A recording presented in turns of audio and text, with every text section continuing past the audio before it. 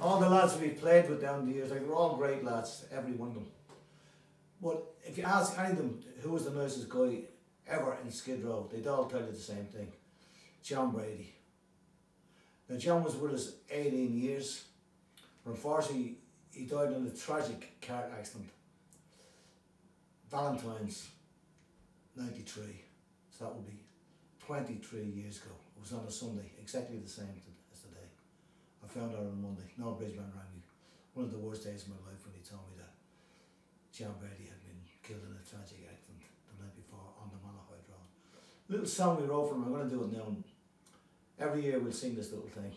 But we think about him every day. and We've got this beautiful photograph of him, which was taken coincidentally by Liam Quigley, who unfortunately died in October. So this one is by John.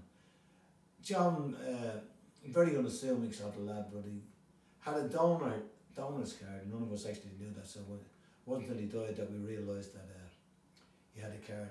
But because of the the type of accident he was in, where his head hit the door, they could really only use parts of his eyes. So John had beautiful eyes, as you can see from the photograph there. We we wrote the song from called "Your Beautiful Eyes." Here we go. Last night I couldn't sleep, thinking about you. 18 years together in this old rock and roll band. And John, I don't know what we're gonna do without you.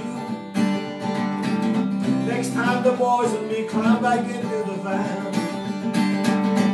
We head out on the road to somewhere.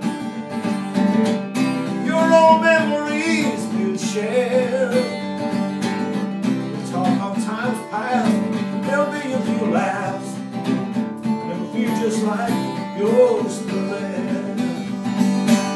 But now we say goodbye for the last time, and we're all here, the boys and me. You were always so kind, you left so much behind, you left your beautiful eyes so someone else could see.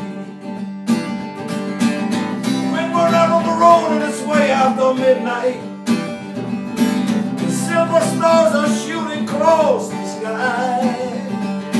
As we choke on mile after mile, we still see your own sweet smile and the laughter in your beautiful eyes.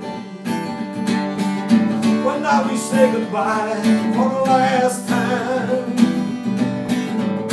We're all here, the boys and me You're always so kind. Left your beautiful eyes so someone else could see. You left your beautiful eyes to say adios